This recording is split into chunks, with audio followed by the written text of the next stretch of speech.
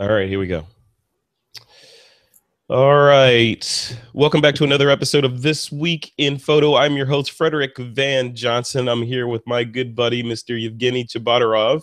He is uh, back from, geez, where were you? You were you were across the several ponds over in China, right? What was going on there, man? Yeah, I, well, I came back from Italy uh, last night uh, and before that I was in Germany, and before that I was in China. Um, so there's been quite a few countries that I've visited. You're just um, a world travel. What's up with that? How do you get this?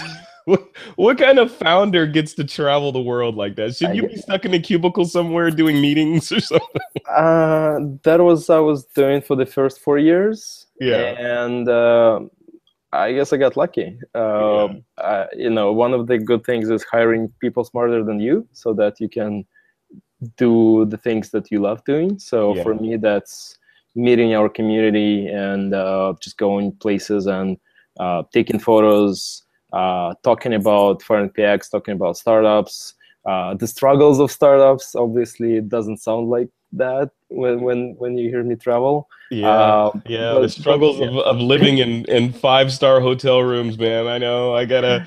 I'll send you a care package or something. I, I, think I think I should start sharing photos of my hotels. Uh, sometimes they're not what they seem. So it's kind of like it goes from uh, really fancy hotels sometimes to really really crappy ones. Yeah. Um, yeah. and you never know. Yeah, I, I can't I can't imagine, but I, I can a little bit. All right, man. Well, so all right. So first of all, just on this show, this is a little bit different for this week in photo.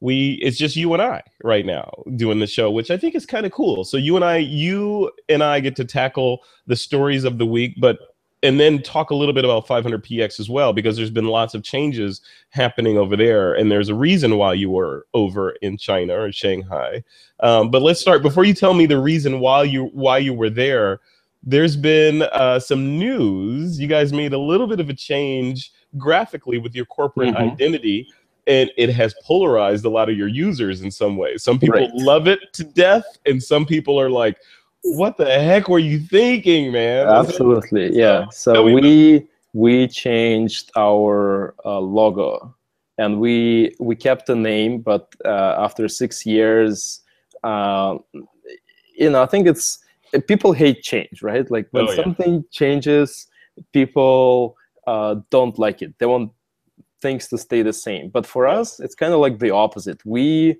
are we are always changing, and we told everyone every time we do something that it's never over that it's going to be more changes coming soon yeah. so whatever you see now there's going to be more and more changes every few months or like you know as as soon as we have them ready uh, because I think that's a part of the startup life uh, where yeah, you have absolutely. to where you have to move because uh, you know uh, if not you'll be you'll be happy with uh, GeoCities.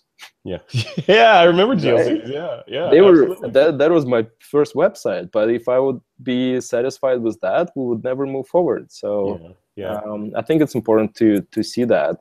Um, and with the logo, we wanted to have kind of like a new identity to represent what we uh, stand for as a more inclusive community, as the personal expression, um, as the uh, what I call a creative identity. That's why it looks like a fingerprint of sorts.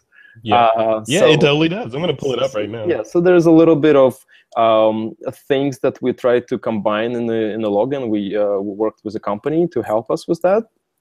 So uh, it will take time to uh, to get used to the change. So I think you know maybe uh, in three to six months. Uh, it would be nice to go back and and compare it to the old logo and be like, well, you know, what do you think now, for example? Same with with like Google and everybody else.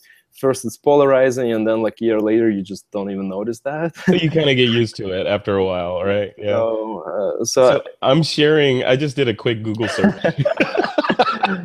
Um, yeah. I just Google search yeah. uh, 500px logo. Yeah. So so the first one that you hovered over, um, it, it Daily Smart Photo Digest, that is from 2009. That is how old it is. So that's kind of wow. like uh, because in the beginning uh, we were thinking of 500px as the photo digest that will give you the best content uh, based on the best photos and best photographers out there.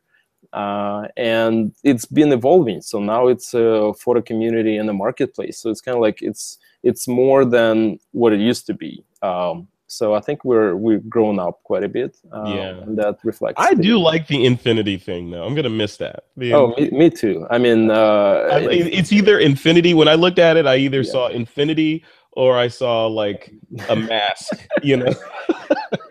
yeah, uh, but but the the fun thing we're compiling uh, some great uh, mockups uh, and parody on the new logo. So there's gonna be uh, really fun blog post in the, in the next uh, few days or weeks uh, when people are making some crazy stuff with the logo and comparing to a lot of different things. So it's always fun to see uh, kind of like where people's creativity will will take us. Yeah, I think we have. Uh, hey, Nicole, there you are. Hey, Nicole, we had a show notes mix up. Welcome welcome to the show. We're already in progress. You're joining. Oh, you're, thanks. You're joining. I'm in like I'm in like fi- like last minute study mode because I like just now got all the info I needed. So. Oh, no worries, no worries. We had we had a, a last minute kerfluffle. So. That's all right. I can deal with kerfluffles. You're all yeah. good. You're all good. So, well, welcome Nicole Young to the show. We're, Thank we you. just started a minute ago. I'm, I'm grilling Evgeny about the controversy around his change to the 500px logo. so, so let me plug in. I need to hold on. I need to get into my headphones here. Yeah, go for it. So, Evgeny, I've got okay. up. I've got the uh, the your brand new logo up, and I can see how it kind of looks like a fingerprint now. So, yeah, so yeah. take me through that. So, what was the what was the impetus, and, and who designed this, and where did it come from? Um, I forgot the company we worked with actually. I think it was Focus Labs, uh, but I'm probably the uh, the worst person to talk about the logo actually. Mm. Um, the the main change is that we wanted to bring something that is open and mm-hmm. easier, uh, especially not the logo type, but the word mark, uh, the one that you see below on the left. Yeah, this uh, guy. now yeah. it reads 500px instead of 5 infinity. So for a lot of people, uh, for a lot of years, people would uh, refer that to like 5 infinity, 500, 500px, 500 pixels, uh, 500 pix. Uh, and we wanted to make sure that it's clear how it's uh, supposed to be pronounced and how it's supposed to be said. So now it's clear that it's 500px. Um, yeah. And that's kind of like the main uh, basically the main logo that we're going to be using uh, everywhere. And then where we need to have uh, uh a mark, we'll use the uh, uh, what I call the, the creative identity mark that looks like the fingerprint. Yeah. Very cool. That's that's not a small undertaking changing the logo. I mean, that's all, all your wonderful, awesome business cards. By the way, thank you for pointing me to the company that designed your business cards because yeah. I've used them and they made the awesome TWIP business cards. Nice. But but now they get more business from you because you need to res- yeah, it's a, it's a huge change, and uh, obviously we knew what we were getting into. That is like a multi-month effort. Yeah. Um, but I think you know, I think in three months we will know that it's it was worth it. Uh, and now I'm still getting some messages that where people are missing the old logo and they're saying like, oh well, uh, I really like the Infinity and the uh, uh you know like if you think because you're obviously like uh, your uh, you know, a lot of people grew up with that logo basically. Yeah. yeah. Uh, yeah. And now that it's changed, uh, it takes some time to get used to. It. So yeah, well, but, congratulations. yeah, it's brave to make any kind of change, especially when you have a rabid fan base. so Absolutely. Making yeah. Yeah. making so, any kind of change is going to bring out the hornets. And yeah, and, and I read online, they came out right. And I hear those immediately. Like five seconds later, somebody on my Facebook would message me and be like, "Hey, let me let me tell you straight." So it's really nice to hear from people uh, to be uh, honest and straightforward for a lot of things. Yeah. Um, and I really appreciate for everybody who reached out and uh, you know shared their thoughts, whether positive or negative. So yeah. So let, let me translate. Let me yeah. translate for Evgeny into like what I would say if I was CEO. I would say, thank you for your input, but enough. We're changing it. It's not going to go back. Enjoy it. This is what it is, and we may change it again in the future. And you know. I, I think this is part of your story where the company actually changed something and then had to revert back. So I think yeah. we'll hear that and uh, discuss that story yeah, yeah, yeah. We do have another story like that, don't we? Yeah. So before we get to that, Nicole S. Young finally got the show notes. Finally in the I house. got, yes, I got everything. Thank you. Thank you for coming on. Sorry for the uh, the mix. A little bit of a little bit of pain. I probably should have messaged you earlier, but I was like, I know it'll show up eventually. no, I was running behind too, so it was one of those perfect storms. Yeah. Don't worry about it. That's all right. So what's going on? Oh, yeah, I, you know, today I had a really good day shooting with some friends. Um, just been kind of doing my thing, writing a new ebook, and when am I not? Though I'm always, Yeah. I'm always working on something. So That's good. That's good. Yeah, it's uh we've got a ton of stuff to talk about in in tonight's show beyond 500 Pixels new logo and Yevgeny. Oh, Yevgeny, before we before we move on, so you we we mentioned that you were in China. Mhm. Why were you in China? so so I know Um, you revealed it to me, so I'm putting you on the spot to reveal it to the Right. Flip I, audience. I was in China for two completely separate reasons. Uh, reason number one, we were having a global photo walk, uh, and I was joining the chapter of this photo walk in Hong Kong with a great photographer, Peter Stewart, who was there at the time.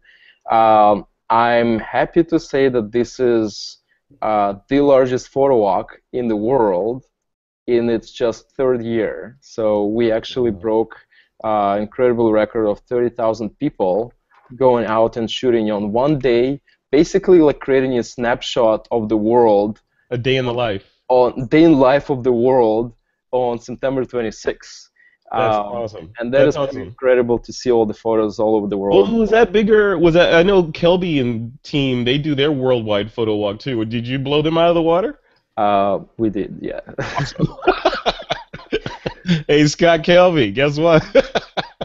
we we uh, we did, and uh, I'm proud of the team. We worked pretty hard on uh, on on all the members that joined. So it's it, I mean like it, it's not a competition, right? So it's course. it's it's both it's not, but it is. Yeah. bo- bo- both are free events. Both are uh, to celebrate the community. So it's it's it's kind of like it's the same community that goes out uh, to Scott Kelby's photo walk and to ours photo walk. Yeah. Um, it just yeah, it's just nice to It's be. It's awesome. Yeah, it's yeah, you're right. You know, no, it's all in good fun. When I say, you know, Scott Kelby, look It, out. it- but, yeah, yeah. but it's, a all it's like podcasting, right? Yeah. There's a million podcasts, and I encourage people to listen to other podcasts as well. TWIP is not the only one out there. It's, it's like doing multiple photo walks and, and participating. It's more important to get out there and click your shutter than to worry about allegiances and all this crazy stuff. So, So, who is your arch uh, ne- nemesis in the podcast world? you know, I'm I'm going who, after who, who you CNN. can who can you CNN? recommend? CNN, CNN. I'm coming after you, and then I'm going after the BBC after I crush you. nice. I No, think that's basically within the reach uh, of this podcast. You know Uh, what? I, I I tend to take a different tack on it. I don't think I have any competition because there's only one Frederick, there's only one Twip, there's only one you guys that bring your flavor to the show, and we have a we have our unique dynamic. So we're you know there's really no competition unless another unless I start another Twip, and then it'll comp- compete with this Twip. So that's that's how I see like every everything I do too. You know, it's like I might write a book on I don't know, pick a subject, but just because somebody else writes a book on it doesn't mean that people won't buy both of them. Like food photography is a great example. Everybody has a different perspective, a different personality, and it's you know, I encourage people to find outside sources for everything, and it's I think that yes. People respect other companies when they do that instead of trying to push them down. You know, when somebody pushes something down because they feel like they're a comp- competition, it just makes them look smaller. So Yeah, I think yeah, just people totally. gravitate to certain things and certain uh, certain people. So uh, Yeah. whatever. Yeah, subject exactly. is, People have yeah. different tastes. Some people Mhm. don't want to listen to TWIP because of certain reasons, and other people do. You know, that's the whole thing. Is my advice to people would be, if you're buy the biggest capacity phone you can next time you update. Next time you update, don't cheap out and buy a 16 gigabyte phone. Buy a 128 gigabyte phone. You know, especially if you're getting a phone that shoots 4K. And then you'll be able to consume all the music and podcasts and apps and all that stuff. You have to And keep about every single episode of TWIP exactly. on Yeah, the you don't wanna do phone. that. Yeah, you don't want to do that. All right, guys, let's dive in uh, to the show. We've got a ton of stuff to talk about. First, story number one is about the United States, the FAA. Um, they're planning on creating a drone registry in response to safety concerns around irresponsible drone pilots doing crazy things with them. So it's supposedly uh, to be unveiled this week. I'm not sure if it got unveiled yet or not as we go to record this, but it's the. Let me read this from the show. So, the drone users in the U.S. will soon be required to register their aircraft drones with the Department of Transportation (DOT) in an attempt to address safety concerns over the growing number of unauthorized flights.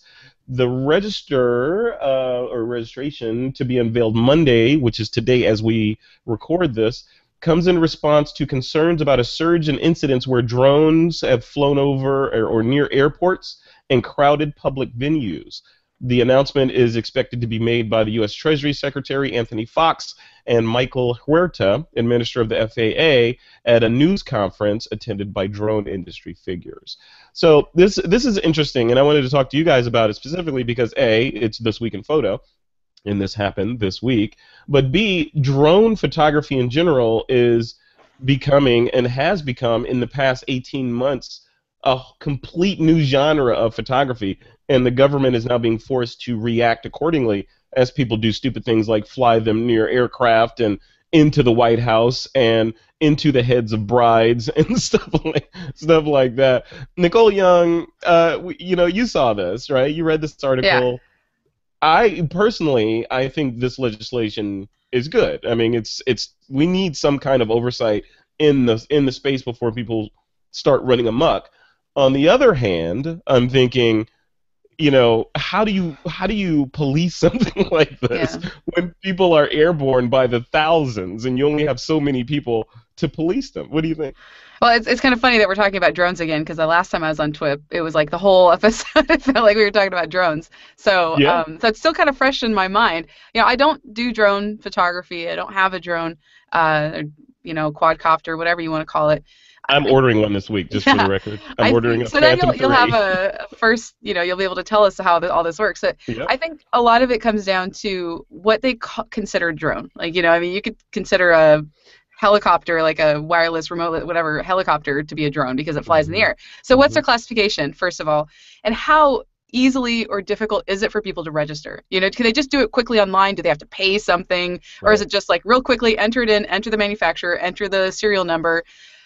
You know maybe verify your address and that you're, you're wherever you live or however they want to do it if they make it like convoluted and way too much effort and way too much energy then it's it's gonna obviously that's gonna cause problems so i think it's a good thing because there's so much you know unfortunately you kind of have to go to the lowest denominator and the person who's making all the mistakes you kind of have to yeah, you, assume you, that everyone's going for that. Yeah, exactly. Fall, for for the lowest common. yeah common it's really what- sad what I worry about is, you know, if like you said, if they make it convoluted, no one's gonna do it, you No, know, and they're just gonna say, you know what, what's what's the ticket I could get? you know? yeah what's the penalty for that is it gonna Yeah, if like, I get a penalty and it's it's a it's a hundred dollar fine, I'm just gonna go fly until I get caught. You know, like, like people i mean the, the thing is you're probably only going to get caught if you do something stupid and get in trouble with it you know i mean like they're going to walk around like police officers are going to walk around and check your registration for your drone if you're in a, a public Yeah, area or whatever That's what I, they're getting at, because even then, if you're if you're in one of these awesome drones like D, like the Phantom Three that I'm gonna order, right? Mhm.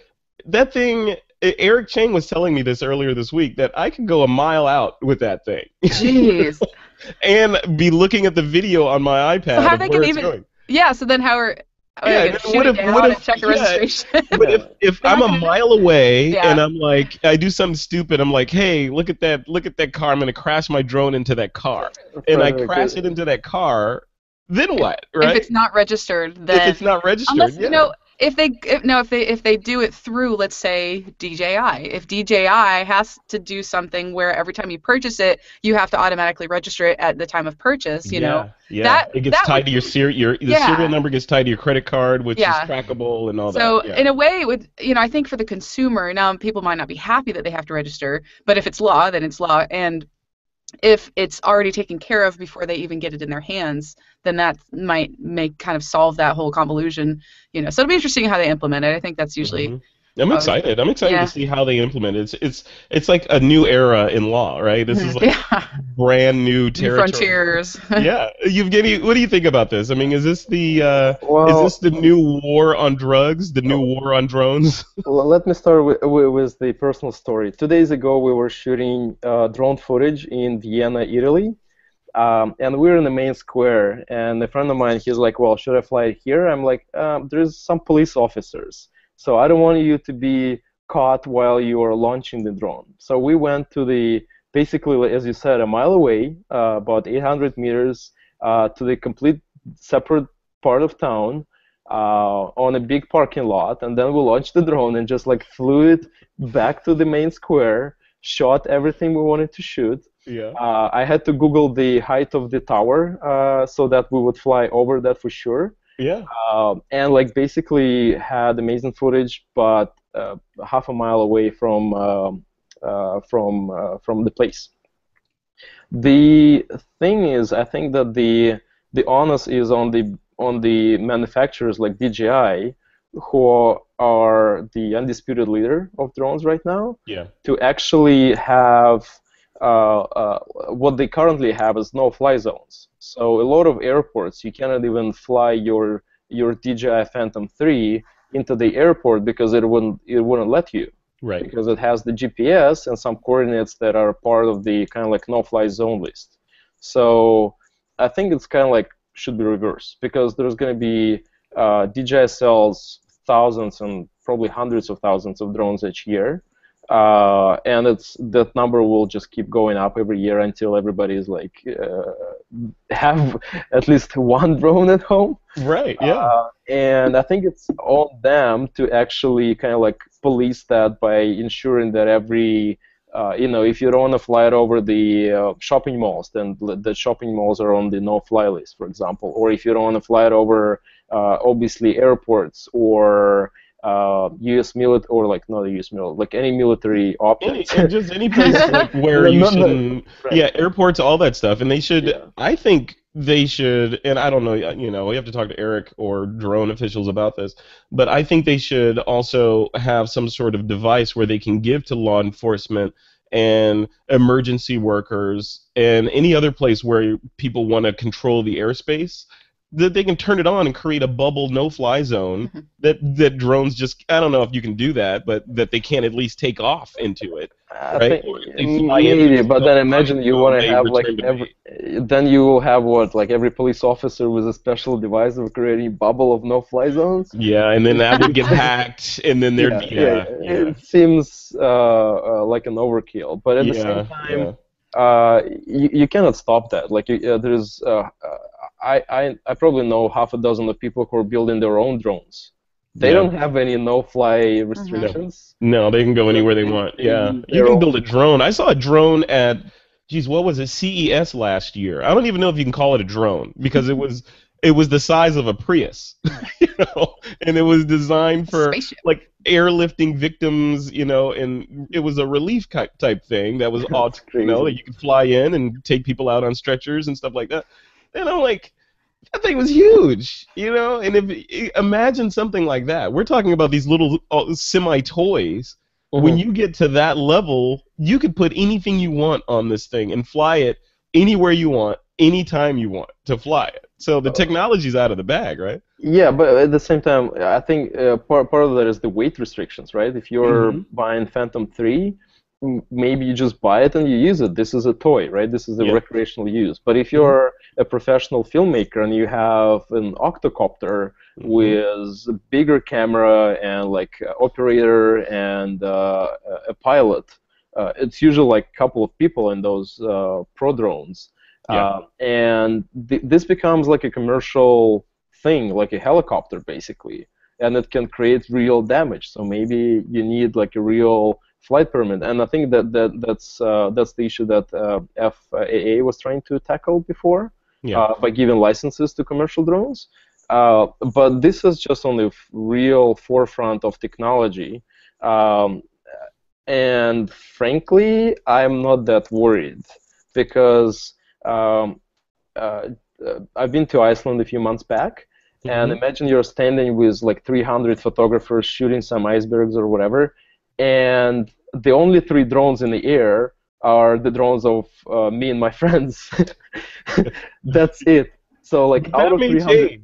Yeah. You know, because what if drones go the way of the selfie stick? You know, because I remember a couple of years ago, you see one every now and then. Yeah. Now they're everywhere. You know, they they they multiply like rabbits. So you know that may change. but it You know- feels like you know it, it's still so far in between. So uh, in Italy, uh, in even the most touristy places, we were the only one with a drone. So Yeah, it, yeah. se- it seems like yeah, there's people like Elia that is flying drones everywhere. Elia Locardi, uh, uh, like doing all the crazy stuff, uh, and some other people.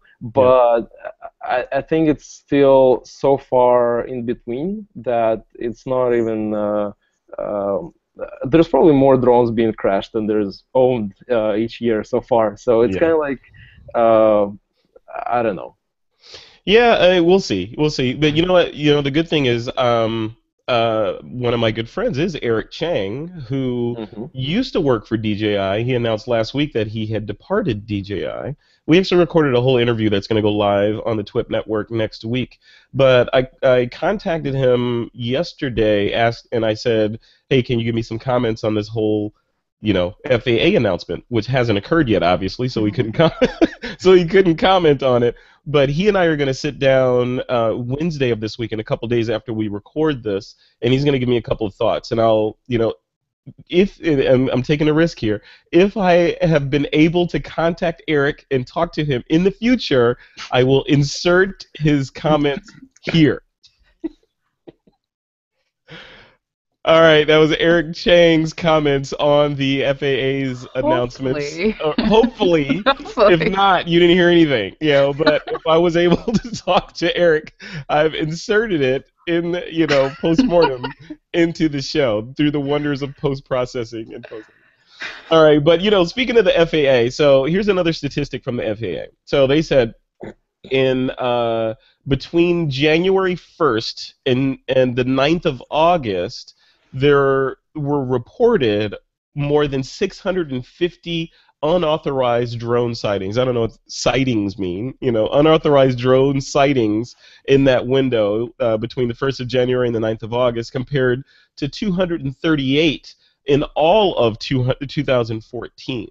So basically, they're extrapolating if if the sightings. So what is a sighting? If the sightings continue at that rate, the number will near 1,100 by the end of the year. So I mean, a- an unauthorized drone sighting was it on? That's like a UFO. Yeah, what if it is an authorized drone? si- Like, wh- what is going on? Like, how do you? Yeah, how do you? What's an authorized drone sighting? It's like, look at that one. It's blinking green instead of red. You know, what is, that? I don't know. It's it's yeah, it's really hard to um uh to have all this like government uh legalese and speak. Yeah, it's it's So- tough. It's tough. Yeah, and I'm I'm particularly interested in this because I'm heading off to Vietnam next month, and I'm buying this Phantom Three and a case and all the doohickeys that go with it to take with me. Hopefully, you know, I'll be able to get it in country and all that, so I can do some you know some shots from the air in Vietnam. So all this stuff, I'm researching the you know the law in Vietnam around flying these things and where I can and can't fly them and this this FAA ruling is coming down just as I'm about to pull the trigger because I've been saving all year to buy this thing. now I'm getting it, and this ruling comes down just before I'm getting ready to push buy, you know, on DJI site or on Amazon.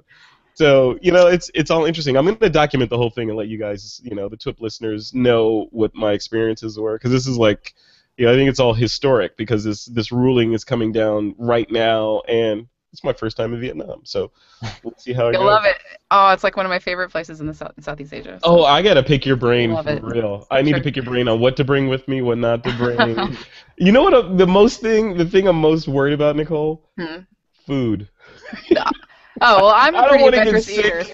I don't want to get sick because I'm. I'm I'm a Midwestern Frederick, kid. man. I, I have no idea what you're talking about. I- Vietnamese is my one of my favorite cuisines. So Mhm. like that's all I'm eating when I'm back home, basically. Good. So, good. so if you're you're gonna are be fine. Are you worried about getting sick, or are you just worried about the types of foods that you'll get? Well, Like, I you- mean, I'm not a I'm not an adventurous eater to begin with, but Uh-huh. I can I can eat you know almost anything, but I'm not gonna fine. eat weird weird stuff. But I'm just worried about eating something that has some kind of you know something in it that Don't my body's not used to The- having, and the- then I'm gonna be in my hotel room, you know, But the first, so this is like uh, five, specifically my hotel room toilet, you know. this is four years ago was my first like going out and traveling by myself and vietnam was the first place that i picked to go to and the first meal that i had was sitting down and getting like street food from some random lady and this huge she had this huge pot you know of just i don't know i don't even know what i ate. I was eating i was like i don't know what that is i don't know what that is. mystery meats and i was fine i was fine. I grew up in the midwest too but i've definitely uh, outgrown that the midwest Yeah. eating a lot. Very i'm much more an adventurous eater but um you'll be fine just bring you know bring what what's Imodium Imodium AD, yeah. yes bring yeah. that just in case because you never know A couple, a couple gallons of that. I'll bring along. it's always smart always travel with that anyways but yeah yeah, yeah. I mean, I, no, no disrespect against Vietnam because like I went to Hawaii and I ate something weird mm-hmm. and It can I was in my hotel room for a couple hours. it can happen in your hometown it can happen anywhere so yeah, yeah, it's crazy. But that I'm excited. I'm gonna pick your brain offline about that because absolutely yeah, I'm I'm doing the whole what what should I not bring? 'Cause I'm like I'm going light, man. I'm going Mhm. Derrick Story nimble photography style out there, Like, you and know, and a drone and a drone and maybe a drone. Yes. Maybe a So drone. what are you bringing? What camera are Uh, you bringing? I'm bringing my uh, my Panasonic G7 and maybe a GH4 with me, and then I'm I'm trying to cut it down to maybe three lenses. You know, maybe not even that, but like just just a couple There of. is one uh, good backpack that uh, uh, think tank makes, Airport Accelerator, I think. Oh. Uh, and it can carry your drone, DJI 3 fits in there.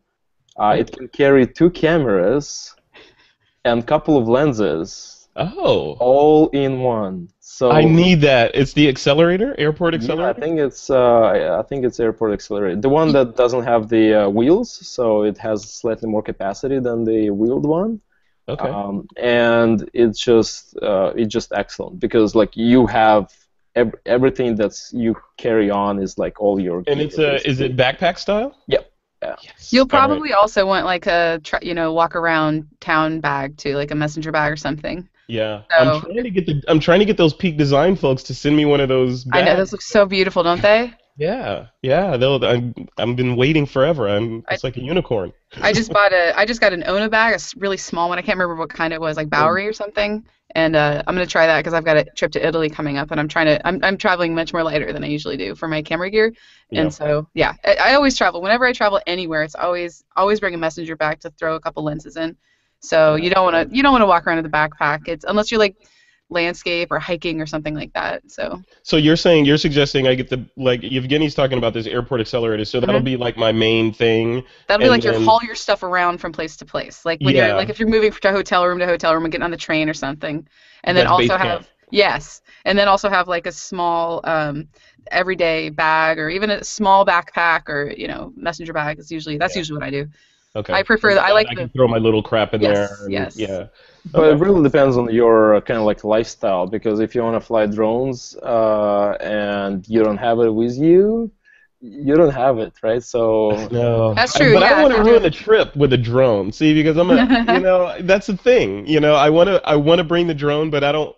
The drone, the drone is coming with me to Vietnam. I'm not going with the drone to Vietnam. but, but trust me, every single thing that you see from the ground looks way more amazing from the, from the air.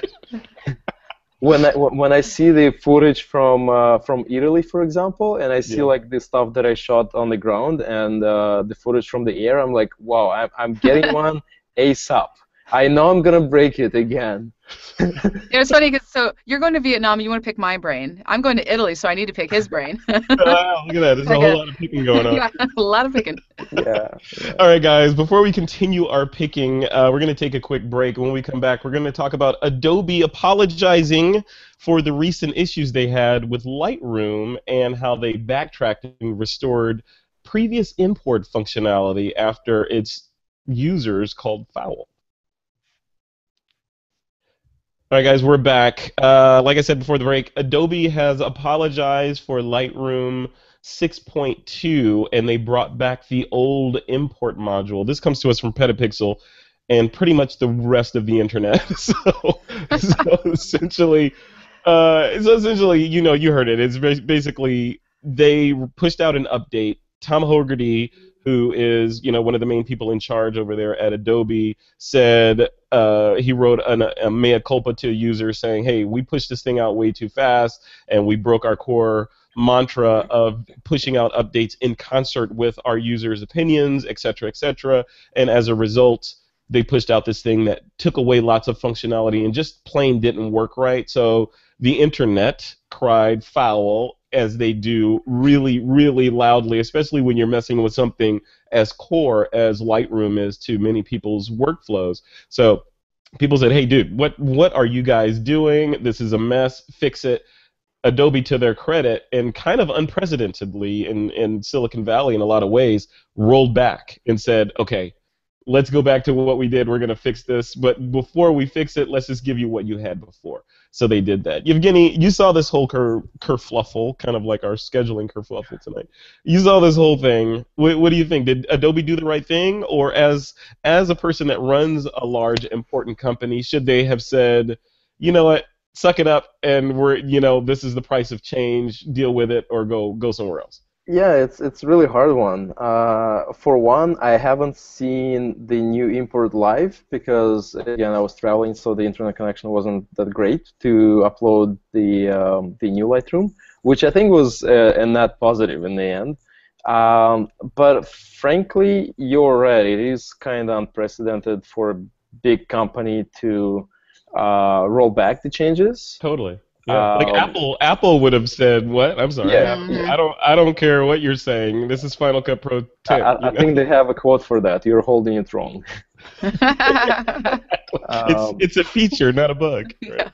yeah, and, and uh, it, it, well, it really depends on the company because for one, for Lightroom, it's it's kind of it's currently cloud software, so you kind of mm-hmm. like really this is your critical workflow but it's it doesn't belong to you anymore. You rent it for for a fee each month, um, and I think that's kind of like makes the change why why they rolled it back because if this is a critical piece of software that you make your money or your living off, or even if you're an artist and you make your art uh, off that, you want it to work the way you like it.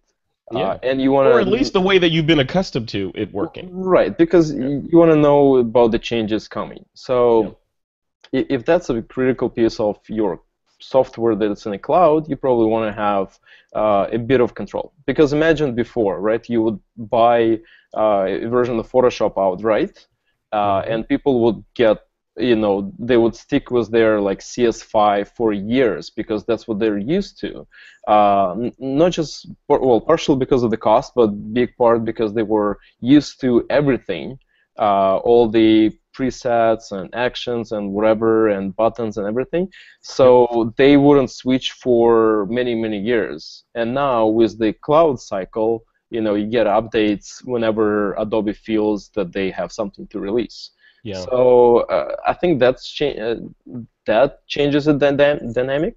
And uh, if would it be the offline software it was before, uh, there will be no rollback. It will be like a new version of Lightroom, and you just this is what you get when you upgrade, basically. Yeah. When you pay. Yeah, it's scary though. I mean, you hit it right on the head. This the we're in the age of cloud and things kind of changing dynamically and constantly kind of like the clouds do, right? So so what happens is, you know, it would be kind of like Tesla, right? Elon Musk pushing out an update to all Teslas that now when you turn the car counterclockwise, instead of it turning left, it turns right. You know, you're like, you're like, but dude, I just need to get to work. Stop with the changes. You know, I just, you know, if they did something that fundamental, it's, I mean, not that Adobe, what Adobe did will, you know, cause deaths or anything, but it was kind of that fundamental, and you'd think that it was that critical from the outcry from the internet. Nicole, you use Lightroom, mm-hmm. right? When you you did you get impacted by this bug? Uh, you know, so I actually, I usually update right away. Like when I Me see yeah. little thing, I update, update. And for some reason, I just held it off a little bit. And Mhm. my husband, Brian Matias, he updated his uh, version to the new one, and it was crashing, it was crashing, it was crashing. So I was like, oh, okay, well, you know, I think I'm going to hold off on updating if it's Mhm. actually giving people problems. So. Uh, and then he was talking about the import dialog, and I hadn't even gotten to it yet. Um, but you know, finally they fixed the bug, so I was like, all right, it's time to update. I updated, and I actually, I don't mind the. Im- Sorry, just a second. I'm hearing an echo somewhere. I hear that too. I'm It's- not. I'm not sure where that's coming from, but I'm hearing it a little bit too. Just a, okay, sorry about that. I can't. I'm like one of those people who can't talk if I keep hearing my own echo back and forth. So, so I updated to uh, the new version, and I, I don't. I can adapt really easily. I there are some things I do miss that eject on import because I use that all the time, and now I keep I keep pulling my card out of the reader when after it's imported, I get the little notice like you just did not eject properly, and I'm like, oh, it's because I'm used to that auto eject thing. Um, but you know, I I have to say I applaud Adobe for listening to their customer base, not necessarily for changing and rolling it back because that's not always a guarantee that they're going to do something as big as that, but definitely for listening. And in this case uh, I'm sure they saw all of the feedback, and they, you know, I saw just a few people uh, post, you know, on on Facebook or wherever they were complaining about the new import. Um, but they really took it to heart, and they they probably got some info input from people they really respected, and they changed it. And I think that's really great that they're listening to people. Uh, it, so it's it's really hard to say. Like I said, I, I'm one of those people I can adapt to new things very easily, but Mhm. don't take my features away from me. If you're gonna give me something, don't take it away. Give Right. it, make it optional, uh, un- unless it's like so completely obsolete that it's not uh, even used and it takes so much energy to continually adding it to new versions. But uh, taking features away is a no-no. It's you know, it, but you know, people don't like change in general. Like Yevgeny learned with the whole logo, and that was just a logo. yeah, So- but, but there's I, change. I'm, I, yeah, I'm nodding my head to, to almost everything. there's there's change for you know in this for the sake of progress, which is I'm all for. Like you, Nicole, I'm like, okay, oh, this is different. They're pushing they're pushing the envelope. That's called innovation in technology, right? we Yeah. do here in Silicon Valley. Um, but then there's change for change's sake, Mhm. right? So there's like, okay, we got to change something, and we have this long laundry list of features, and we need to get these into the next release. No one's really asking for them, but we're gonna put these in anyway because, like Steve Jobs said, they don't know what they don't, what they need, right? So, you know, there's there's a fine line in there, and I think when you cross the line, I think, and I'm with you, Nicole. I I applaud Adobe for for being taking the high road and making this change and rolling back. But when you when you when you push a change like this forward and it affects the fundamental workflow and incomes, I mean, I'm sure they cost people money, you know, with this, you know, because they're running their entire business and livelihoods on Lightroom in a lot of ways, right? So when you when you start messing with that fundamentally, then people get pissed off. Like I said, in the case of Tesla, it's like you know you're changing the fundamental operation of the car. You're not just giving me a new UI to Google on my flat my my 17 inch screen in the car. Mhm. You're changing the fundamental way of how the car works. You know that is when people get you know a little pissed Yeah. off. It's also an issue of not like a lot of people who use Lightroom are I guess I don't know power users. There are a lot of power users out there. People who use it. Like I understand the entire dialog window when when the import thing comes up. I don't necessarily use everything, but I understand it. Mhm. And when all of a sudden it's like scaled back, it's kind of like the Apple scenario. Like we're uh, you know a lot of us who are really hardcore Apple users or we, we, we really like our Apple systems, we worry that Apple is changing it to a consumer-based product, and eventually Oh. all they're going to have are iPads with keyboards. You know, I don't want that. I want to keep my iMac or a Mac Pro or whatever pro level version they have. You know, we don't want the same thing to happen to software like Lightroom because that's such a powerful software. A lot of people use it, and unfortunately, things like this kind of push people away, and people are looking for other alternatives. And I mean, because there are things are growing. Uh, now, I probably will never switch because I just like Adobe products. I'm really in, you know, immersed in them. I have a lot of other things I use with them, and I just like it. And I, I'm really good with change. But I, when you like something and you use it, you, sometimes you just don't want to change. so yeah, and you you you go with the flow. You're like, Yeah. ah, okay, that, that's not so good, but I'm gonna keep using it anyway. yeah, it takes a I lot to push me off course. right. Yeah, but you're right. I mean, the we need I mean, I love Adobe too. You know, I'm using I use their products religiously. I use Max, all this stuff. You know, so I'm I'm in the fold there. But you're right. There's a lot of really cool, and we're going to do a whole show on this because there's all this other cool, really capable software out there from Macphun, from On1, from Google, from I mean, it goes on and on. There's lots of alternatives out there to people that don't want to a pay Adobe subscription fees or b don't agree with the business model or how the software operates or the mm-hmm. cloud thing because of these types of changes.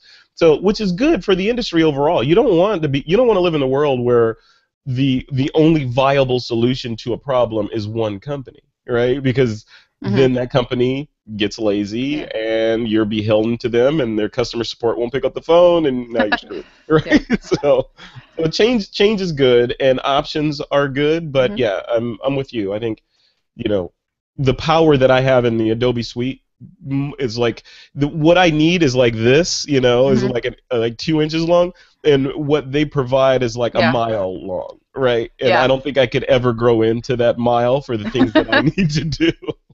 So yeah, I don't know. It's all good. Evgeny, so post processing on your side, the stuff that you're doing, like what are you uh, what what are you using post processing wise?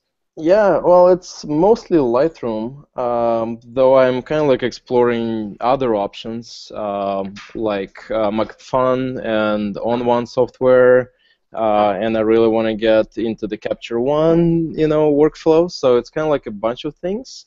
Uh, I'm really surprised about the health uh, of the competition uh, and kind of like a new companies uh, cropping up and building really nice tools either on top of Lightroom and Photoshop um, or building a whole new set of tools altogether. So this is something that I think is kind of like uh, pretty healthy for the industry. So it's yeah. nice nice to see all around. But yeah, I just like to explore things. Uh, like to see new um, new tools. So constantly trying something new. Even if they do, if it doesn't stick, I just want to see like what's you know what's out there basically. Yeah, no, no, I agree. Yeah, that's we're all we're all three of us are the same people in terms of like you know being geeks and wanting to try new stuff.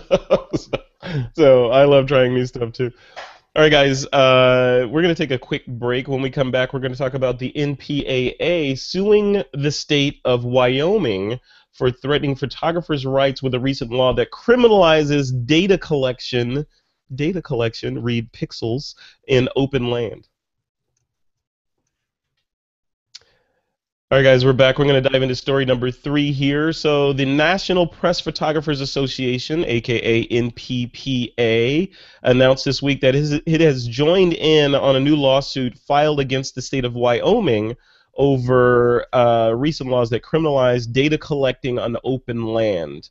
So, among other things, the NPAA or NPPA, sorry, is arguing that the laws put photojournalists on the wrong end of the law for legitimate work. So we talked about this back in May.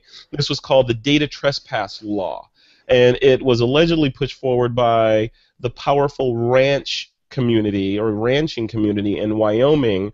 This is a group that is said to have an interest in covering up the fact that many streams in the state have been contaminated by E. coli from their grazing cows. And I want to I want to highlight allegedly. So we don't know that for sure, but this is this is what we're reporting. And all of this comes to us from Petapixel. And the law that they're putting forth makes it a crime for people to collect resource data, for example, photography, from open land if the person intends on submitting that data to a federal or state agency.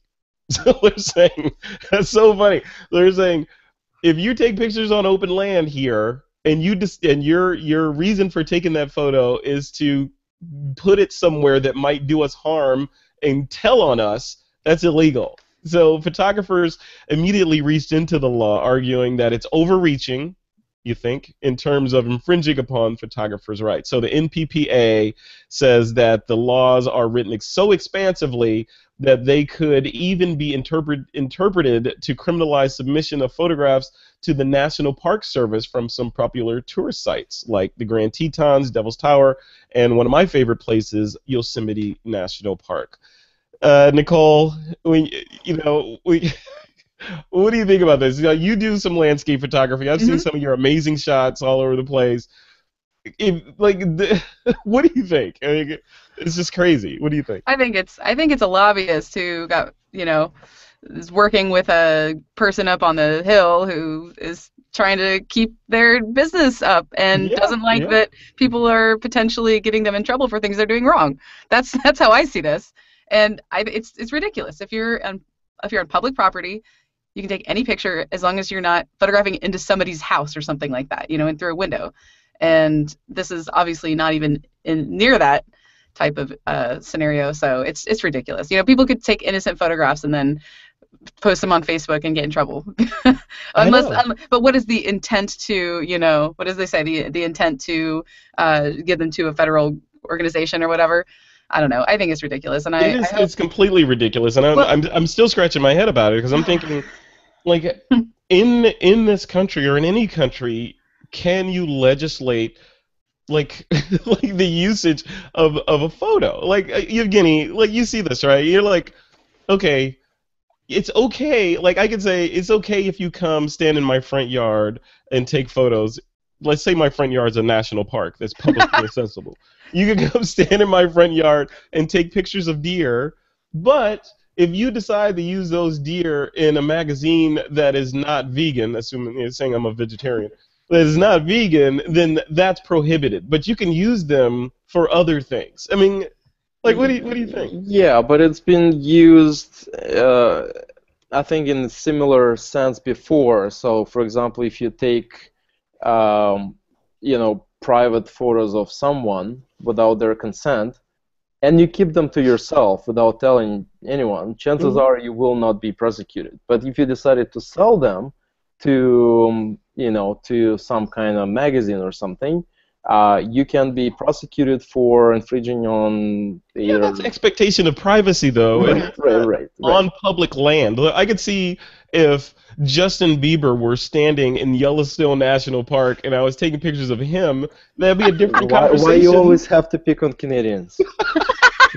hey, he's an easy Canadian to pick Yeah, on. I'm just saying. you know, so- but you know, Justin Bieber standing there versus We will have know- to ship Nickelback to uh, to you as well. no, no, no. Yeah, but it, but but seriously, if I'm taking pictures of of him, a celebrity in in Yellowstone versus Right. you know a, a you know uh, some wildlife out there. Yeah. Frankly, my, my take on that, uh, I see a lot of stupid laws uh, a, a lot of the time, especially when you read uh, on them in the news or some kind of like uh, blogs. W- what I'm concerned is that do we are we even going to see any cases of that? And if there's not a single case of that happening, you know, the law is there, but it's so ridiculous that nobody ever wants to actually go in court with that and fight that. Uh, so for me, that that's a pretty important distinction. So it, it, it, could be an overreaching law, and it could be uh, ridiculous. But if no one ever uh, goes to court and tries to either fine or some kind of like uh, tries to stop you from sharing those photos, then who cares, right? Like I'm sure there's a lot of obsolete laws that are still out there uh, in every country in the world, and they just they're just not enforced. So I think That's scary, though. I mean, that's like that's like saying, you know, we know Facebook's terms of service says that they have access to your firstborn for the first five years, but they'll never act on it, so it doesn't really matter. But it's they still wrote it in there. You know, that's that's that's a scary way of thinking, right? Because Have you ever read Apple's terms of service? I'm afraid to. No, no. Have you? There's probably something in there about your firstborn. I know. Hey, I know some people that'd be okay with that. so. Do, dog, dogs don't cat in that scenario, do they? You know. oh man. Yeah, but but I, I think it's part of the uh, you know the politics and the part that I usually hate commenting on because it's just it just seems to be that that uh, that's what they like to do enact some laws and then uh, revoke those laws and then enact some more law, laws and then revoke some more laws and Yeah. just kind of like that keeps them busy for for the whole life basically. I wonder how this would like say. Let's put this in practice, right? Let's say let's let, and let's weave the whole show together, right? So the first story was about drone legalization, right? So let's say I go to Yosemite National Park, I bring my brand new Phantom 3 professional out there, which is illegal by the Which way because illegal, it's a national yeah. park to begin with, so I shouldn't be doing that. Let's let's just say that I did that. You know, I'm flying around Yosemite or Yellowstone rather with this with this drone and I'm taking photos, you know, from the air um, with the with the camera on the thing. Um, those photos that I take, say a portion of them, I decide, you know, I'm just going to put them on Facebook or I'm going to make a gallery. I'm going to put them online. But then there's one or two that you know the this this these people that are suing the the farmers out there, the ranching community in Wyoming, they say, oh, that's a perfect shot. That demonstrates E. coli from their mm-hmm. grazing evil cows, right? And they want that shot of the evil E. coli spreading cows, you know, that I took from my theoretical quadcopter, and I give it to them. Now what? So now does that mean that I'm liable for suit and uh, that they're going to come after me, or does that mean in Yevgeny land that they're not going to come after me because it was just kind of written in there, you know? Yevgeny, what what do you think? I think you should better hire a really good lawyer. like first of all, count one, illegally operating an aircraft on in state park land. Count two, violating this data trespass law. All right. and probably just agree to the uh, to the lowest uh, minimum sentence or to the lowest fine that you can get. Uh, Yeah, that would- that would be not a conversation that I want to have in jail about. You know, trying to look trying to look hard. You know, like, hey, hey man, what are you in here for? Uh, yeah, the dude dude over there is in for murder. He's in for tax evasion, and this guy was flying a drone in Yellowstone. Took a picture of a cow. to get a shot of a cow grazing. Yeah, no. It was a beautiful photo. it would not be good. Not be good. I don't know. It's it's scary. I mean, all this stuff. You're right, Evgeny. You know, you're if they wanted to prosecute, if in that hypothetical situation, they could they could lock me up, right? Because I broke the law and probably knowingly after, especially after recording this episode. Nicole, what, what, what about you? In that hypothetical situation, what, what do you think would go down? I don't know. I don't know. I would make sure that I license the photo to them for a lot of money so I can afford the legal fees. you, you come out zero or like five bucks ahead. yeah, exactly, exactly. And hopefully not too much time wasted. I know. It's and you know what? You'd make you'd make news. So Yeah. it'd probably bring awareness to the whole situation and how ridiculous it is. And Yeah. So I become a martyr, basically. Yeah.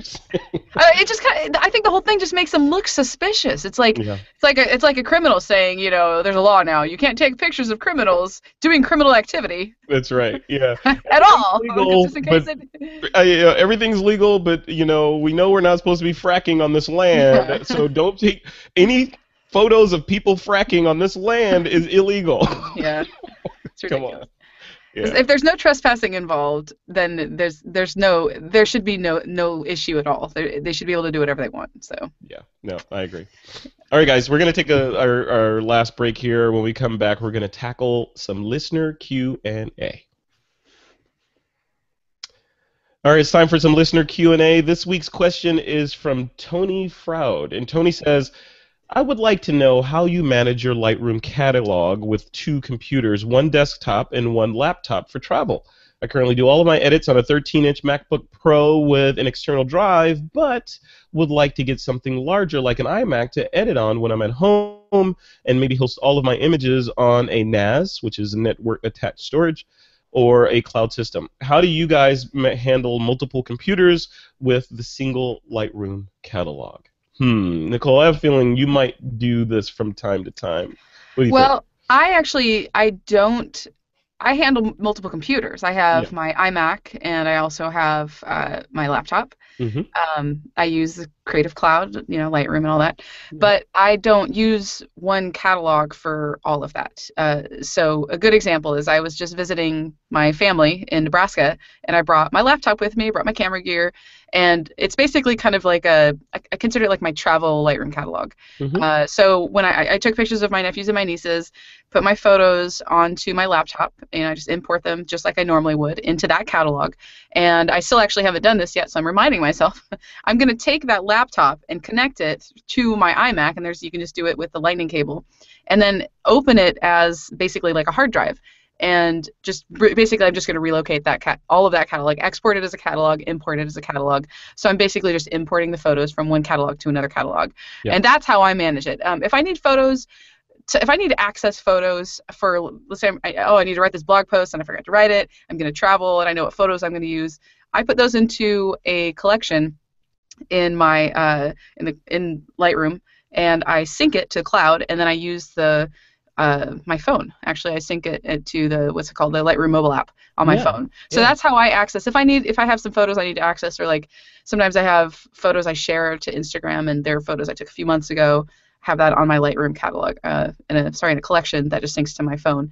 Um, that unfortunately, and I hope that I really hope that they add this feature in the future. It would be great if they would kind of merge the syncable features from mobile to desktop to sync from desktop to desktop. Uh, yeah. You know, maybe at first, if they ever did, it'd probably be like a limited capacity. But um, so, anyways, so bottom line, my answer is I don't just work off of one catalog. I do back at home. I have like my main catalog, and then I have like a travel catalog. And I just I work ex- I'm, I'm, exactly yeah. the same. I, I, do exactly I don't even know. I, am sure that there's a Lightroom guru out there who you know lives and breathes Lightroom, and they probably have an answer on how to do this. I don't know if Lightroom is really made to work off of like a network or a cloud-based system. It'd be kind of I'd be a little afraid to do it, and maybe it's just like the old-fashioned Adobe person in me, you know, not wanting to to get too much into like networks and stuff because of there's so many moving parts with everything. Um, I'd worry that the database would somehow get confused about where things are located if a file or a folder gets renamed or just has a you know something, then everything kind of gets a little question mark. So yeah, I keep it pretty simple. yeah, I'm, I'm a fan of that. Yeah, less yeah. is more, and less complexity and fewer mm-hmm. steps is always better. I'm the same way. I mean, I have a I have an iMac here, which is my workstation in my mm-hmm. little home office here, and then I have a 13-inch MacBook Pro like Tony has, and I'm like you, Nicole. I have a I have a my shuttlecraft, yep. you know, Lightroom library that goes with me, and I'll do edits on that. But it's always temporary. Yep. When I'm done with doing my little work on there, that stuff gets imported back into my main system here, which I call the Library of Congress. Mm-hmm. So that gets, that gets stuck back into the Library of Congress for safekeeping, and then I start fresh again on yeah. the on the portable, which has limited SSD storage, obviously. Yeah, so, the the key thing to that is that there you can do all the edits you want on your photos on, if you do it that way. Whatever's on your on your laptop, I have the same exact same setup with a 13-inch MacBook Pro if I make a bunch of edits and do all sorts of things, all of those changes, if I if I do it properly, you basically you export it as a catalog, yep. and then you import it as a catalog, and then you just yep. move the files. That's all you have to do. Um, you don't even have to you don't have to re-edit your photos. So yeah, yeah, that's all how the changes I work. go with them. Yeah. yeah. So so then on my downtime, like when I when I was in Iceland and Norway, I I had we had a lot of downtime, just kind of sitting around, you know I wouldn't say a lot, but we we had some downtime. So I'm like, all right, let me edit a bunch of my photos, merge my panos, merge my HDRs, and I didn't have a lot to do when I got home. So it's it was kind of nice just to be able to do that while I was on the road and thinking about it. Yeah, you have a supercomputer with you, right? So mm-hmm. why not why yeah. not do it on the road with you? Yevgeny, what about you, man? What's your what's your flow? You're always on the road. How do you manage the uh, your images? I just have one computer. yeah, there you go. You solved it. No more syncing, nothing. Just one computer. but I, but I heard the rumor that um, uh, that some use Dropbox for their catalog, mm. and then you can access that uh, basically like point that uh, on your iMac or any other computer, and it's just gonna work there. So your your mm. your photos can be somewhere else. They can be on an external hard drive, for example. Yeah. Uh, but your catalog, which is lighter, uh, could be just in uh, in your Dropbox, for example. Yeah, we probably want to check with Tom Hogarty and the Adobe folks on that because I have a feeling they, if they're listening to this, they're gonna be like, uh, yeah, that's, that's asking for trouble with database corruption and well, all that. Yeah. If, if they don't support it officially, they'll probably have to do it by Friday when the episode layers, I guess. you know, Dropbox. However, Dropbox is a good place to back up your catalog. If you know, if you don't, and then maybe you could access that when you're on the road. Just Depending on how much space you've paid for with Dropbox. True. I have like 'Cause- too much space on my Dropbox though. Yeah, I've got a ton too, but uh, I don't know. You know, but it goes back to that other issue. Like, like when we started the show, Nicole, we're using this cloud service to do um, offline recording, Mhm. but that service was down. So now, Oh, but that's why it wouldn't load for me. yeah, that's why it wouldn't load for you, and and now we ha- we don't have a backup for the show. Oh, See, and that's. But even this show, even with the Hangouts, we're reliant on the cloud True. for this. You know, so Yeah, as we like, will do you really want to put your Lightroom cloud, your library in the cloud too? You should be, yeah, I, I hope I didn't. You know, I was in that one where it just kind of disappeared off the face of the earth. So yeah, yeah, you remember that? Yeah, I do. That's why. That's probably why you're doing the backup now. exactly, and now we don't have a backup because that is now down. It was See, me. It was me. It's like it. chasing. it's, we're, we're chasing the horizon with this show. I don't all right, I think I think that was a good good answers all around. Nicole and I do the same thing. Yevgeny has solved the synchronization issue by not syncing at all, having, having one one computer. All right, listeners, if you have a question you'd like us to tackle on the show, just visit us at thisweekinphoto.com. Click on that submit a question link and send us your question. Or you can also tweet us through uh, our Facebook or through Twitter, obviously, or hit us up on Facebook. We're there as well. All right, we're going to end the show with our picks of the week. Remember, you guys can pick anything to recommend to the TWIP folks as long as it's somehow related to photography. Nicole, I'm going to let you go first. Sure. What's your pick of the week? I have two. Is that okay? Yeah, go for it. All right. My first one is a birthday present that my husband got me, Oh, and he bought it for me because it's a bag, the Mindshift Gear Backlight 26L. oh. and and we know how he- photographers hate bags, right? I many bags. Um, he bought one for himself, and I looked at it and I was like, "Ooh, it looks really nice." Uh, I use the f-stop gear bags a lot when I do a lot of my landscape photography because I really like the way that you can, like, if you're wearing the the waist strap, you can flip the bag around, and then the zipper is on the basically the part that touches your back. It's on that side, so you can flip it up and then access your gear without having to set your bag on the floor. Um, I really, really like that setup. Uh, the the f-stop bags though however they have some things that I, I think are missing like there's not a dedicated laptop space so you don't really have a padded area to put your laptop or other uh, you know like accessories like that. Uh, however this new mindshift bag is kind of like the answer to it's like a nice blend of a, a mindshift think tank bag travel bag and the f-stop bag where it's a really good size. I, I just used it actually yesterday and today for the first time. Um, but it has a lot of space in it. It has you know the, the way that it flips out is the way that i really prefer um, it has a spot, a spot just for a laptop and an ipad and like other pockets and it has a pocket that's so deep that an entire water bottle fits in it instead of just like half of it. So then you're worried you know the water bottle's going to fall out etc you stick your tripod on it. Uh, it's it's a, like it's it could be the perfect bag for Really? like backpack bag it's it's Oh, really really really to close. It's really really close. And you know I've, i'm going to take it with me when i go to italy. It's going to be my bag that i haul things around with and then i'm going to use a messenger bag for the day-to-day stuff. Um, but i'm yeah so that's has a really good potential for being a really good bag.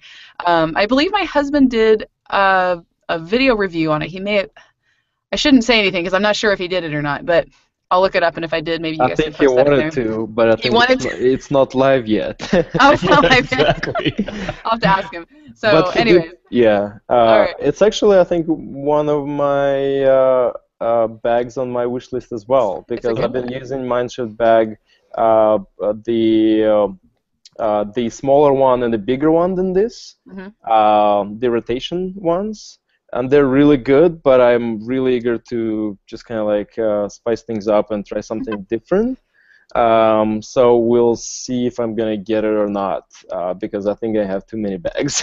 Yeah, it's Yeah, oh man, tell me about it. I just gave a bag to my friend because I was like, take it. I have too many. And it was like a brand new bag. Um okay, so that's my first one. Highly recommend if you're into that, you know, if if if it's a bag the size of the bag suits your need then it's a really good bag. Light, comfortable, etc.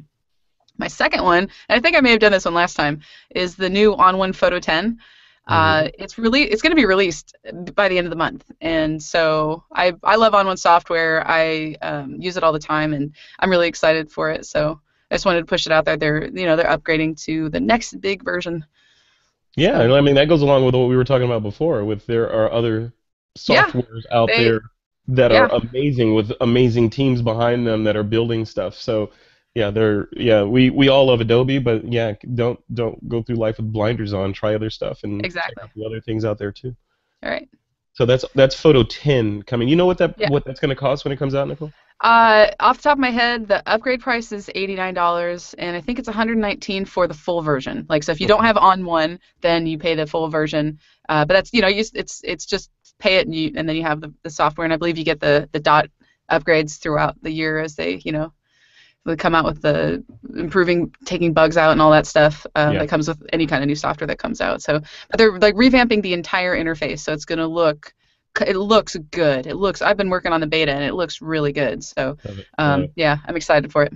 All right. Ah, so much stuff to try. So little time.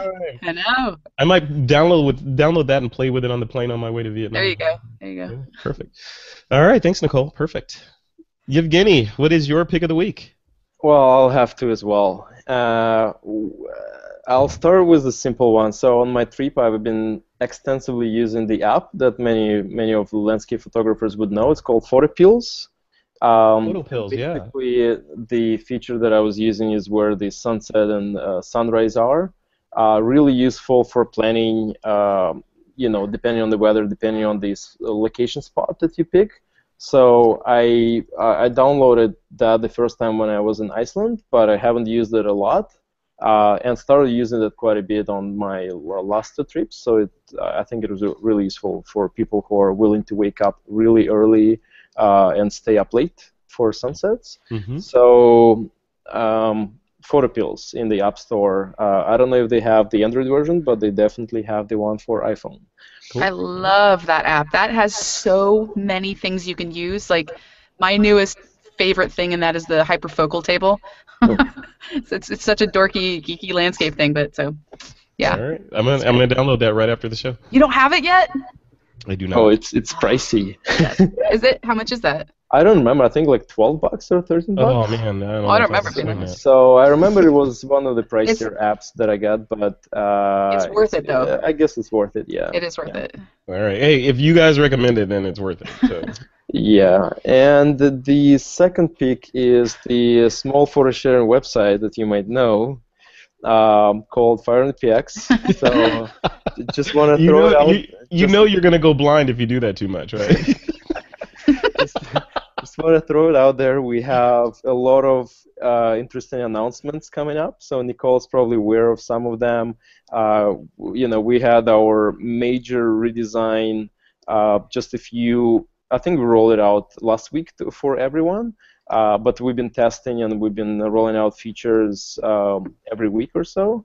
We did a major logo redesign, and there is a major, major announcement uh, for our next expansion into China. Uh, so that is going to be happening in the next uh, few days and few weeks. So uh, basically brings a whole new audience to um, to photographers. Uh, really cool. For a lot of other networks, as I mentioned, like almost every other social network, whether it's photo or video or uh, just a social network, they are blocked in China. Um, so only a small fraction of users access those through VPN, and it's like it's extremely slow. So we're building something that's going to be fast for local users um, for all 1.4 billion uh, Chinese customers that are out there. Um, so it's pretty exciting um, uh, to opening this uh, this up to you know to the world. That that's I mean congratulations first of all, but that's um I know you can't share this, but I when you say one point, would you say how many billion? One point what? It's 1.36 to be One exact. point three six billion potential new customers to 500 px. That's uh that's kind of cool, right? Yeah, especially considering that it's almost as going to be an exclusive uh, way for people to be present in China. So Wow. when I was in China, uh, none of the Chinese people use any of the apps that we know. They like everything they use is local, is made for uh, their market. The the photo sharing apps they use uh, is nothing that we know here yeah. um, the messaging apps uh, that we that they use is nothing that we use here. Um, unless you're obviously uh, like a Chinese person to keep in touch with the uh, with the relatives or friends over there.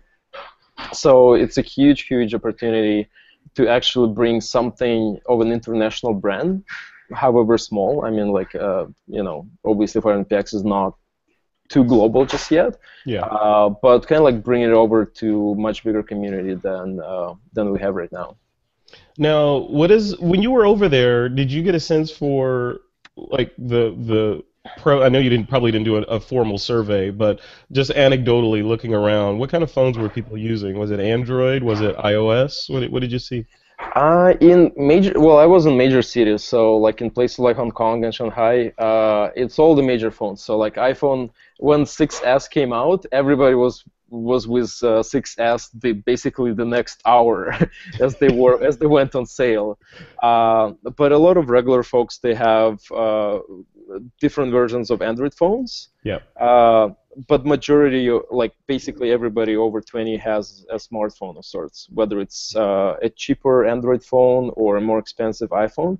Uh, they're really plugged in into the app like ecosystem out there. Mm-hmm it's just that for Android phones, it's uh, local Android stores. Um, and luckily, our app is present in local Android stores as well. So it's kind of like uh, it's out there for the consumers to, uh, you know, to be and see. Wonderful, cool. All right, guys, uh, we're we're at the end of another episode of this week in photo. Yevgeny, you're on a roll. We're, uh, I mean, we know 500 px, right? So, other than that, or maybe that's it. Where should people go to connect to connect with you and and see what you're working on? Um, okay, I'll I'll change things a bit. I started using Instagram after about three year break. Oh. Uh, because I've been using our corporate uh, company Instagram account for quite some time. Yeah. Uh, and I got kicked out of that because now we are using that more professionally. So in a sense, to promote our community instead of uh, my you know pictures, which I, which I think is fair. So uh, I, uh, I, I was glad that that happened finally. That we have the capacity to uh, you know to bring it back to the community. So I'm now at um, Instagram as at Tchebotarev, so basically my last name. And uh, I'll be posting a few pictures there. So, cool, yeah, awesome. Yeah, we'll definitely point to pe- point people there, and I'll I don't know if I'm following you, but I'll I will be after the show. Perfect. All right, and thanks for coming on, man. Always a pleasure chatting with you. Likewise. All right, Nicole, what about you? What do you've got coming up in the coming months, and where could well where and where can people find you and all that stuff? Oh yeah, well you can find me on my website. I everything's linked from there. It's just uh. It's n i c o l e s y. Um, I'm I'm pretty much Nicolesy everywhere else on social media. Um, yeah, the next couple months, I've got a trip to Italy coming up. I'm, my husband and I are attending a workshop by David Duchemin in Venice. Oh, so right. really yeah, excited. Yeah. yeah. So we got a week in Venice and then a week, and we're not exactly sure. we should probably figure out our plans because it's in like two weeks. But uh, yeah, so that's happening. And then I'm working on an ebook. I should have it released hopefully before the end of the year. And yeah. That's, hey, what's the, what's the ebook on? Can you tell us? Yeah, it's on. Uh, it's actually I have it on my website already on my in my store. It's just a coming soon product. Uh, it's called Waterfalls and Waves, and it's going to be on long exposure waterfall water photography type stuff. So oh, photography, cool. post processing. Yeah. Very cool. Yeah. Awesome. I yeah, love always. Always, I love that kind of stuff. Yeah, I, I like to teach what I love too, so it's kind of a you know Hey, you know what's interesting? This is this is geeky, and Evgeny, you'll appreciate this. I was talking to uh, to uh, Eric Cheng the other day um, before this Back to the Future thing that I'll be talking to in a couple of days. But he and I were talking over lunch, and he was telling me that. Did you know that with with I think the Phantom Three and maybe the Inspire that it can do a three to eight second exposure perfectly registered to the sub-pixel level while in flight? yes, but he is not correct because in actual tests that my friends uh, made, it's about half a second. Really? But, oh but, man! Oh. But, but, it is still pretty cool because you can get uh, you can. Uh, so okay, I, I guess I can reveal the secret. Uh, we are thinking of doing the time lapse drone photography based oh. based on actually this uh, feature. Uh, and it could be like in uh, post evening blue hour uh, time lapse in the cities. Uh, and so don't steal that idea. That's cool. we want to do something first, but but basically it is possible, and I think we will see a whole new set of uh, movies and uh, and videos that are using uh, uh time lapse and combine. Uh, you know, if you've seen some time lapse and drone movies, they're usually drones and time lapses, but yeah. never combined into one.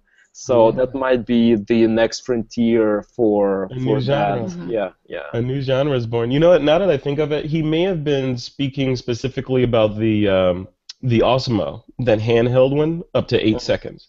Mm-hmm. So I think he was saying like three seconds in the air, um, but the Osmo, the handheld gimbal mm-hmm. camera video thing, I think that one can lock in and go for eight seconds for an eight second exposure, which might make a good chapter in your book, Nicole. I'm just saying. for water? I don't know. Yeah, I need to get one of those. blowing water handheld. Imagine that. Yeah, it's crazy. We live, in, we live in crazy times. You know, it's uh, we're living in science fiction. All right, guys, we're uh, we're at the end of the show. I want to thank our sponsors for making this show happen, and that's our good friends over at Backblaze, FreshBooks, Audible, and iFi. And uh, listeners, again, be sure to check out our website at thisweekinphoto.com. Tons of episodes for you to check out there, as well as tons of interviews and other shows that we produce. And with that, it is time to take that lens cap off. Perfect. Only Nicole can do that.